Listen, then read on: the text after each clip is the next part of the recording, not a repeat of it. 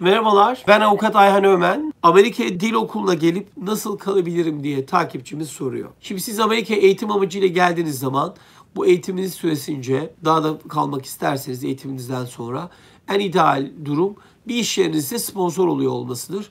Ve bir iş yeri sizin çalışma vizenize ya da yeşil kartınıza başvuru yapıyorsa onların üzerinden burada kalabilme imkanına sahip olacaksınızdır ya da siz kendiniz bir iş yatırımı yapıp ya da iş kurmayı planlıyorsanız o zaman kendi yatırımınız üzerinden Amerika'da kalmanız mümkün olacaktır deyip bu takipçimizin sorusunu cevaplamış olalım.